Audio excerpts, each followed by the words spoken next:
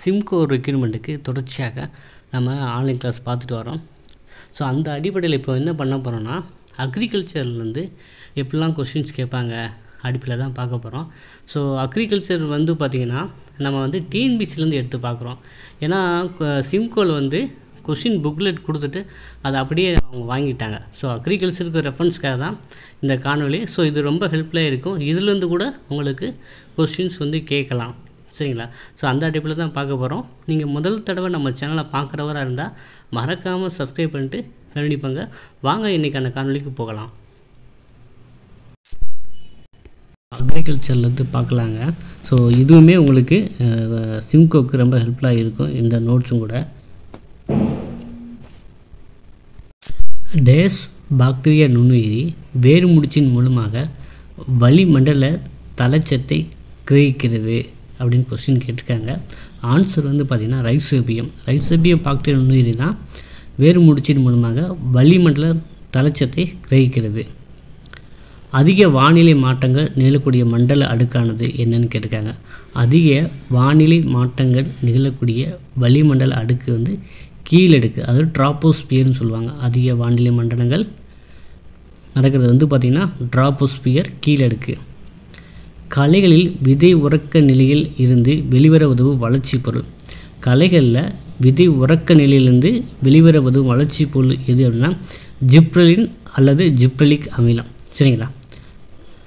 Next question சோள பயிரானது ஒட்டக பயிர் என அழைக்கப்பட காரணம் என்ன? அப்படின்னு கேட்டிருக்காங்க. ஸோ சோள பயிர் வந்து ஏன்னா உங்களுக்கே தெரியும். ஒட்டகம் வந்து என்னென்னா அது தண்ணி இல்லாமையும் இருந்து தண்ணி ரொம்ப நாளைக்கு குடிக்காமல் கூட இருக்கும். ஸோ அந்த மாதிரி தான் வறட்சியை தாங்க வல்லது. சரிங்களா? ஒரு பயிர் முதல் வருடத்தில் வளர்ச்சியையும் இரண்டாவது வருடத்தில் பூ பூத்தல் மற்றும் காய்களை தாங்கி வளர்வதே டேஸ் பயிர்கள் என குறிப்பிடப்படுகின்றன அப்படின்னு பார்த்தீங்கன்னா ஆன்சர் வந்து இரு வருட பயிர்கள். ஒரு ஒரு பயிர் வந்து பார்த்திங்கன்னா முதல் வருடத்தில் வளர்ச்சியும் இரண்டாவது வருடத்தில் பூ பூத்தல் மற்றும் காய்களை தாங்கி வளர்வதை இரு வருட பயிர்கள் என குறிப்பிடப்படுகின்றன. பல்லாண்டு வாழ் கலைகளை பற்றிய கீழ்கண்ட கருத்துக்களை தவறான கருத்தை சுட்டி காண்பிக்கவும் அது பல்லாண்டு வாழ் கலைகளை பற்றிய தவறான கருத்து என்னென்னா இவற்றை சுலபமாக கட்டுப்படுத்தலாம். ஸோ இது மட்டும்தான் தவறானது. மற்ற எல்லாம் ஏழு வருடங்களுக்கு மேலாக வரலும் தமது வாழ்நாளில் ஒரு முறைக்கு மேல் விதைகளை உற்பத்தி செய்யும் விதை மற்றும் தாவரங்களின் பாகங்கள் மூலம் இனப்பெருக்கம் செய்யும். ஸோ தவறானது இவற்றை சுலபமாக கட்டுப்படுத்தலாம். ஸோ அது வந்து கட்டுப்படுத்த முடியாது கலைகளை. ஸோ அதை தான் சரியான பதில். நெற்பயிருக்கு தேவையான சராசரி வெப்பநிலை ஆனது அப்படின்னு கேட்டிருக்காங்க. இருபத்தொன்னுலேருந்து முப்பத்தோ முப்பத்தி ஏழு டிகிரி செல்சியஸ். சரிங்களா? ஸோ செல்சியஸ் வேறு ஃபாரன்ஹீட் வேறுங்க. சரிங்களா? அது ரெண்டு நிறைய பேர் கன்ஃபியூஸ் பண்ணிக்கிறாங்க. நம்ம டெம் டெம்பரேச்சர் வந்து பார்த்திங்கன்னா நூறு டிகிரி செல்சியஸ் அந்த மாதிரிலாம் நம்மளாம் அவிஞ்சிருவோம் அது தொண்ணூத்தெட்டு நூறு டிகிரி ஃபாரின் கீட் நம்ம சொல்கிறது ஸோ நூறு தொண்ணூறுங்கிறது. ஸோ இது செல்சியஸ் அளவு தான் இந்த ரேஞ்ச் இந்த ரேஞ்சில் தான் இருக்கும். சரிங்களா? அது இருபத்தி ஒன்றுலேருந்து முப்பத்தி டிகிரி செல்சியஸ். நெற்பயிருக்கு தேவையான சராசரி வெப்பநிலை. அடுத்து வந்து பார்த்திங்கன்னா மேட்ச் த ஃபாலோவிங் கோரை இனம். ஸோ கோரை இனம் வந்து பார்த்திங்கன்னா முக்கோண தண்டு. ஆன்சர் முழுவேர் ஒட்டுண்ணி. முழுவேர் ஒட்டுண்ணினது ஓராபங்கி ஸ்பீசிஸ் பாலைநில தாவர இனம் வந்து பார்த்திங்கன்னா ஒப்பண்டிசியா ஸ்பீசிஸ் அப்போஃபைட்ஸ் வந்து பார்த்திங்கன்னா அப்போஃபைட்ஸ் என்ன அப்படின்னா பகல்டிவ் கலைகள். அகோஃபைட்ஸ்னால் அப்போஃபைட்ஸ்னால் என்னதுன்னா பகல்டேட்டிவ் கலைகள். மானவாரி சாகுபடிக்கு தேவையான கேழ்வரகு விதை வந்து எதுனா பத்து கிலோ பெர் ஹெக்டர் சரிங்களா? டென் கிலோ பெர் ஹெக்டர் ஓகேவா தாவரங்களில் நீர் பற்றாக்குறை காலங்களில் உற்பத்தியாகும் அமினோ அமிலம் எதுனா ஃப்ரோலைன் தாவரங்களில் நீர் பற்றாக்குறை காலங்களில் உற்பத்தியாகும் அமினோ அமிலம் எது அப்படின்னா ஃப்ரோலைன் கீழ்கண்டவற்றை வேளாண் முல்லை புல்பரப்பு வேளாண் வனத்திட்டம் எந்தெந்த கூட்டுகளில் கலவையாக உள்ளது அப்படின்னா வேளாண் பயிர்கள் கூட்டல் மரங்கள் ப்ளஸ் தீவன பயிர்கள். அது வேளாண் முல்லை புல்பரப்பு வேளாண் வனத்திட்டம் எந்த கூட்டுகளின் கலவையாக உள்ளனா வேளாண் பயிர்கள் கூட்டல் மரங்கள் ப்ளஸ் தீவன பயிர்கள். பின்வரும் கூட்டுகளில் எவை சரியானவை? காடுகள் உள்ளூர் மழைப்பொழிவை ஐந்து முதல் பத்து சதவீதம் அதிகரிக்கிறது. இது சரிதான். காடுகளின் வெப்பநிலையை குறைக்கிறது. சரி. அப்போ காடுகள் மண்ணையும் தண்ணீரும் பாதுகாப்பதில்லை. தவறு. பௌதி வேதி மற்றும் ஒளி மாசிலிருந்து நம்மை பாதுகாக்கிறது. அப்போ ஒன்று ரெண்டு நான்கு வந்து கரெக்டு சரிங்களா பின்வரும் கூட்டுகள் எவை? சரியானா காடுகள் உள்ளூர் மழைப்பொழிவை அஞ்சு முதல் பத்து சதவீதம் அதிகரிக்குது இது சரி. வெப்பநிலையை குறைக்கிறது. இதுவும் சரிதான்.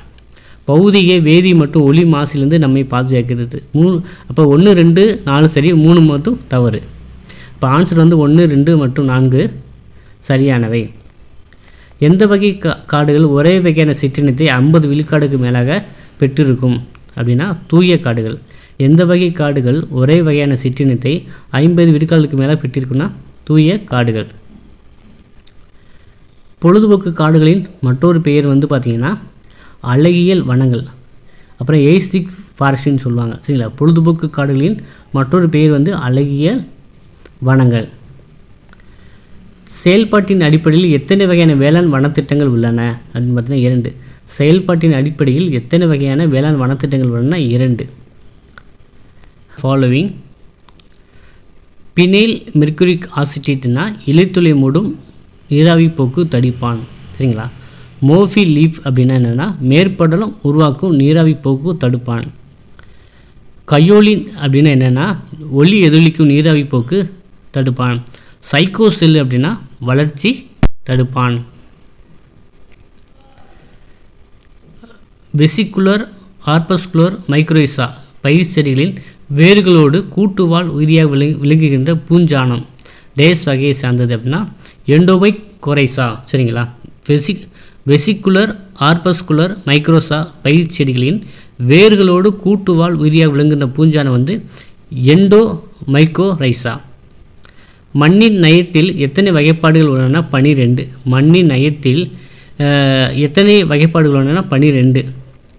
தரம் குறைந்த பாச நிறை நுண்துளி தெளிப்பு கருவி மூலம் பயன்படுத்தும் போது பயிரில் டேஸ் அறிகுறி காணப்படும். அப்படின்னா எரிந்த இலை அது லீஃப் ஒன் காணப்படும். சரிங்களா? தரம் குறைந்த பாச நிறை நுண்துளி தெளிப்பு கருவி மூலம் பயன்படுத்தும் போது பயிரில் வந்து எரிந்த நிலை எரி அறிகுறி காணப்படும். பின்வரும் பயிர்களில் எவை அதிக உப்பை தாங்கி வளரக்கூடியவைனா நெல் கரும்பு. சரிங்களா பின்வரும் பயிர்களில் எவை அதிக உப்பை தாங்கி வளரக்கூடியவைனா நெல் கரும்பு. மண்ணில் உள்ள மண் துகள்களில் விகிதாச்சாரம் டேஸ் என்று அழைக்கப்படுகிறதுனா மண் நயம். மண்ணில் உள்ள மண் துகளின் விகிதாச்சாரம் மண் நயம் என்று அழைக்கப்படுகிறது. சாயில் செக்ஷன் சொல்கிறாங்க செடியின் வேர்ப்பகுதியில் அதிகப்படியான கரையக்கூடிய உப்புகளின் அடர்த்தி காணப்பட்டால் அதை நீர் எடுத்துக்கொள்ளும் திறன் குறைந்து டேஸ் ஏற்படும் அப்படின்னா அரைக்குழம்பு பகுப்பியல் அது பிளாஸ்மோலிசிஸ் ஏற்படும் சொல்லியிருக்காங்க. சரிங்களா?